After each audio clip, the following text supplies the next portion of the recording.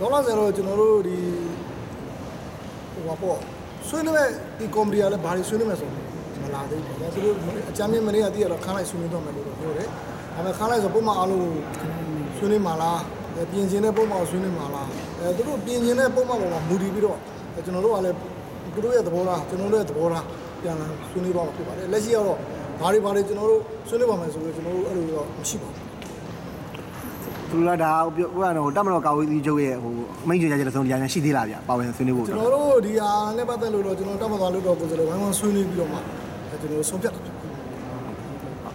ဟိုတမတော်အနေနဲ့ဟိုဟာဖွဲ့စည်းဖို့ပြင်ဆင်ဥပဒေမူချမ်းပေါ့နော်အဲ့လိုမျိုးတည်တဲ့တင်ပြတာမျိုးရှိဦးမလားရှိနိုင်ကျွန်လားတော်တို့ဘက်ကလည်းကျွန်တော်တို့ပြောသလိုပေါ့ကျွန်တော်တို့ဘက်ကလည်းသူပြင်နေတဲ့ဟာလေးရှိတယ်အဲရှိတဲ့အခါကျတော့ဒီကော်မတီကလုပ်နေတဲ့ဟာနဲ့မကိုက်ရင်လည်းကျွန်တော်တင်ကောင်းလည်းတင်ရမှာပေါ့ရပါဖြစ်တော့ပြောချင်တာရှင်းဘာပါများပြောချင်ပါလဲ အဓိကကတော့ပေါ်လေကျွန်တော်တို့မီဒီယာတွေမှာပြောကြတာပေါ့ဗျာတချို့လည်းအောက်ကနေ comment တွေနဲ့ပြောတယ်ကျွန်တော်တို့ကမပါဘူးဆိုရင်ဘာလို့ပါလဲဟိုကျွန်တော်တို့ကစောစေကျွန်တော်ပြောတော့ပါတယ်အဲဒီမှာပြည်သူများလူလားနေတဲ့ဖွဲ့စည်းပုံပြင်ဆင်ရေးဆိုကျွန်တော်တို့ကလည်းစောကြီးတဲ့ပြင်ပါပါပြင်ဖို့လည်းပေါင်းသွားမယ်ဟိုတယ်ကျွန်တော်တို့ဒီမှာကောက်ကွက်ခဲ့တယ်ဆိုတဲ့ကိစ္စကလည်းဥပဒေလုံထုံးလို့ရရင်မလုပ်လို့တာကောက်ကွက်ခဲ့တာအဲကျွန်တော်ပြင်ပါပါလို့ပြောပြတာဖြစ်ပါတယ်ဒါကြောင့်မို့လို့အခုတော့ကျွန်တော်တို့ကဘလို့ပဲကောက်ကွက်သည်ဖြစ်စီဒါက အဲတစ်ဖက်အနေနဲ့ကတော့ပြည်တော်လွတ်တော်မှာအတီးပြုတ်ပဲဖြစ်တဲ့အတွက်တော့ကျွန်တော်တို့က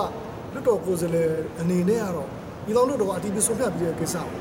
လိုက်နာလှုပ်ဆောင်မှာဖြစ်တဲ့အတွက်ကျွန်တော်တို့ကအခုပါဝင်နေဖြစ်ပါတယ်ဒီလို